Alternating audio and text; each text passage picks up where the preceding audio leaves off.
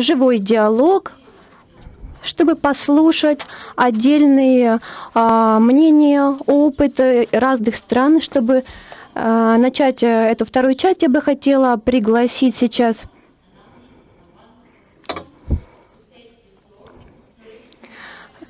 э, э, министра здравоохранения Армении. Спасибо большое за то, что вы сегодня с нами в Афинах.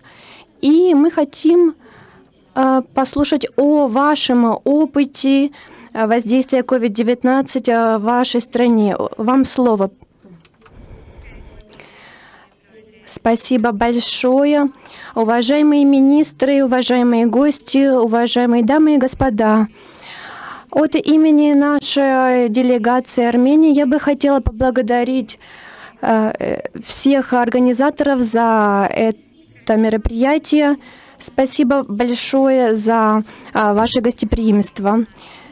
И э, во время этих трудных, э, этого трудного этапа пандемии э, вся наша жизнь кардинально изменилась с экономическими последствиями для страны и к образованию новой реальности. Это понятно всем и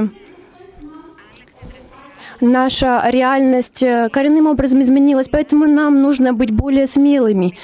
Во время первого этапа пандемии в Армении был запрет на передвижение, как э, это было и во всех других странах, и это привело э, к ограничению экономической и социальной деятельности и к изоляции. Понятно, что такие меры были единственным решением, чтобы ограничить распространение пандемии, но стало понятным, что изоляция людей неизбежно повлияла и на их психическое здоровье. Э, в течение года э, возникали различные э, проблемы, связанные со стрессом населения, которого непосредственно задела пандемия.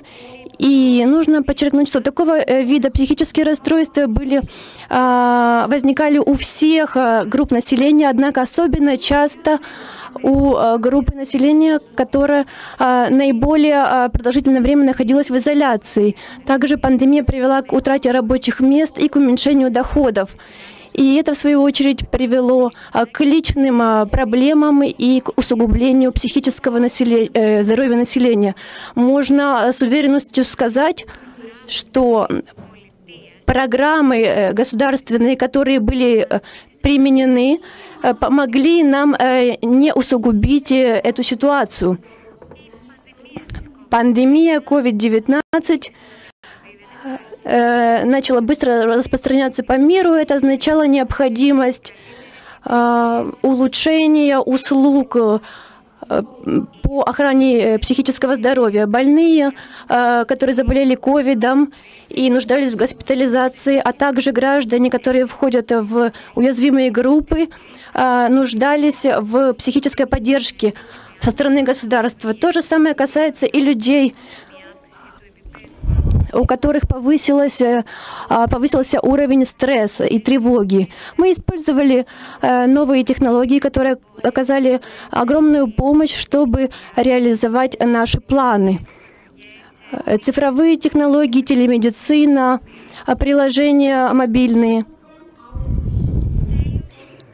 все это стало нашими а, инструментами. И а, наши страхи не были напрасны, потому что очень большая часть населения пережила увеличение уровня стресса, и э, у них возникли психические расстройства.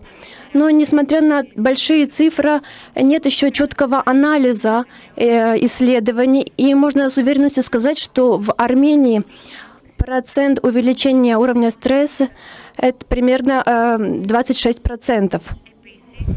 Также в прошлом году во время пандемии э, у нас э, перед нами стоял вызов войны. Это также негативно повлияло на психическое здоровье населения Армении. Конечно, э, ситуация а, хоть и медленно, но улучшается. Наличие вакцин породило новые надежды. Э, вирус можно победить.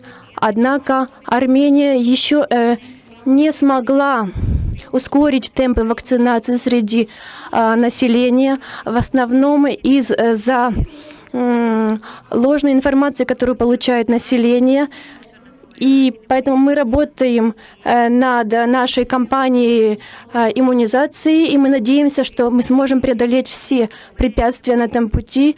И я вам желаю э, очень плодотворных, чтобы эти два рабочих дня были очень плодотворны. Спасибо, госпожа министр, госпожа Ванесинян. Я хотела бы пригласить